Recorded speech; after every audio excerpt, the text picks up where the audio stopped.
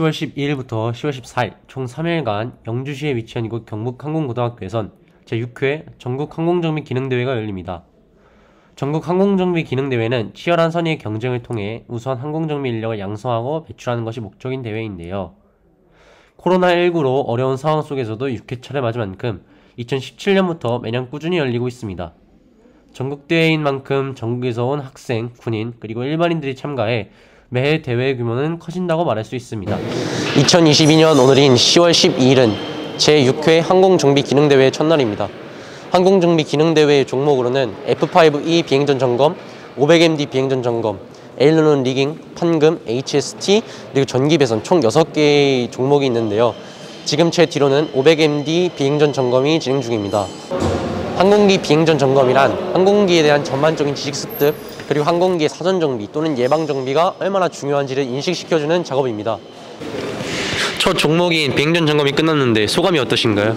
아 이제 저희가 5월 말부터 준비를 해서 5개월 동안 준비를 했는데 확실히 비행전 점검은 지금도 어렵더라고요. 더 많이 노력해야 될 부분인 것 같고 결함 같은 경우는 일단 기본적인 결함을 발견 많이 한 것 같지만 그래도 혹시 아직 결과가 나오지 않았으니까 그때까지는 조용히 이제 결과에 기다리도록 하겠습니다. 그 혹시 사람이 이렇게 많이 왔는데 상 받을 자신 있으신가요?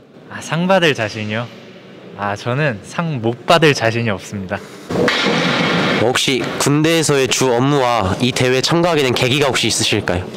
일단 제가 군대에서 하는 주 업무로서는 이제 항공기 이제 비행전 점검을 통해서 이제 항공기의 가망성 증명과 이제 이제 항공기 일선 정비로서 이제 파트 장탈착 그리고 점검까지 맡아서 하고 있습니다.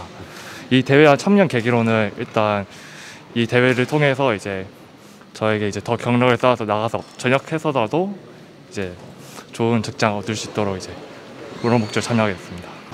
야간에도 대회는 계속되고 있는데요. 지금 제 뒤로는 전기 배선 작업이 진행 중입니다. 전기 배선 작업이란 배선 작업의 중요성 그리고 공구 사용법을 아는지 그리고 기본적인 회로도 지식 함양을 위해 하는 작업입니다. 이렇게 첫날에는 야간까지 대회가 진행 중인 관계로 집중력이 많이 필요할 것 같습니다. 첫날 대회가 끝났는데 오늘 대회와 그리고 소감 한 말씀 부탁드리겠습니다. 어, 아무래도 첫 대회 출전이다 보니까 많이 긴장되고 떨렸는데 그래서인지 첫 종목부터 큰 실수를 했던 것 같아요. 그래도 그 다음 종목부터는 결과 괜찮게 나와서 어, 내일도 실수하지 않도록 준비를 단단히 해야 될 것 같습니다. 10월 13일인 오늘로 제6회 항공정비 기능대회가 벌써 둘째 날을 맞이했습니다. 오늘 오전에는 aileron rigging 작업이 진행 중인데요. aileron rigging이란 aileron surface 중립과 작동 한계 그리고 장력 검사 방법을 숙지하기 위해 하는 작업입니다. 오늘 rigging 작업이 끝나셨는데 그 rigging 작업이 어떤 건지 그리고 끝마치신 소감 한 말씀 부탁드리겠습니다. 아, rigging 작업은 에어, aileron의 수평을 맞추는 건데요. 이제 대회 준비를 하면서 이번에 대회를 하면서 이제 끝맺춤을 할 수 있어서 뭔가 속이 후련하고 13일 오후에는 HST 작업이 진행 중인데요. HST 작업은 작업 공간이 좁아 시간이 많이 필요할 것 같은 작업입니다. HST란 hand skill trainer의 약자로 항공 부품의 전반적인 지식 습득, 부품 분해 검사, 그리고 조립 능력 향상을 위해 하는 작업입니다. 그 어제에 비해 오늘의 성적이 더 좋을지 예상이 되시나요? 네, 어제는 긴장을 처음에 너무 많이 했어가지고 약간 실수도 많았고 공부도 약간 떨굴 뻔했는데 오늘은 약간 어제에 비해서는 좀 편하게 하고 그 다음에 작업도 긴장이 풀려가지고 잘 수월하게 됐습니다. 오늘은 제6회 항공정비 기능대회 마지막 날인 10월 14일입니다. 지금 제 뒤에는 판금 작업이 진행되고 있는데요. 판금 작업이란 무엇인가요, 선생님? 아, 판금 작업이란 항공기에 사용되는 어, 경금속을 어, 용접이나 그런 것으로 조립을 할 수 없기 때문에 판재를 자르고 성형하고 또 홀 가공 등을 통하여 가공 작업을 한 다음에 리베팅 작업을 통해서 항공기 기체 외피나 기골 등을 조립하거나 수리할 때 사용되는 기술을 말합니다. 그러면 그 판금 작업을 진행할 때 가장 주의해야 될 점은 무엇인가요? 주의할 점이라면은 어, 판재를 절단을 하거나 또는 홀 가공, 성형 가공을 통해서 작업을 하게 되는데 이럴 때 대부분은 고속으로 회전하는 동력 공구를 사용하거나 날카로운 절삭 어떤 그런 공구나 장비를 사용하기 때문에 안전에 특히 유의하며 보호장구 착용과 안전 절차 준수를 통해서 어떤 사고를 예방할 수 있는 안전한 작업을 할 수 있습니다. 판금 작업에 대한 난이도가 어떤지 한 말씀 부탁드리겠습니다. 네, 그 방금 과목이 이제 총 세개가 나오는데 이제 그나마 쉬운 이제 부분을 쉬운 과목 한 개를 했는데 그래도 좀 어려웠습니다. 그 시간 어택도 있고 그다음에 이제 판금을 자르다 보니까 이게 좀 가이즈 하는 게 힘- 많이 힘들어서 그것도 또 시간 많이 잡아 먹 잡아 먹었기 때문에 저는 좀 개인적으로 많이 중상보다도 조금 높은 상 상이었던 것 같습니다. 마지막으로 제6회 전국 항공정비 기능대회 총괄을 하고 계신 민상원 선생님을 모셨습니다.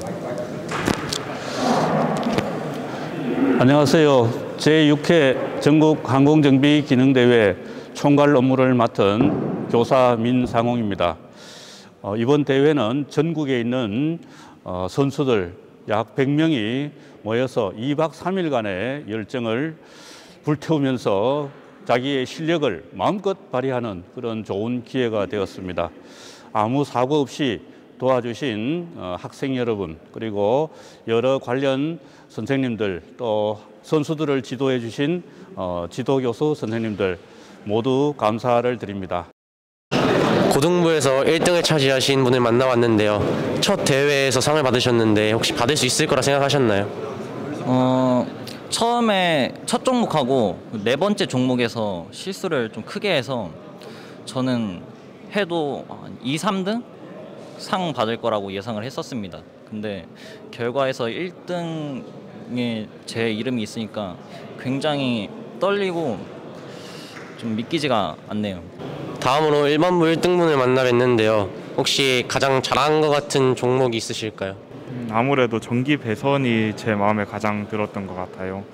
뭐 물론 시합하면서 좀 중간 중간에 좀 연습한 대로 안 되는 부분도 있었는데 그래도 나름대로 잘 대처하면서 좋은 결과 만들어냈던 것 같아요.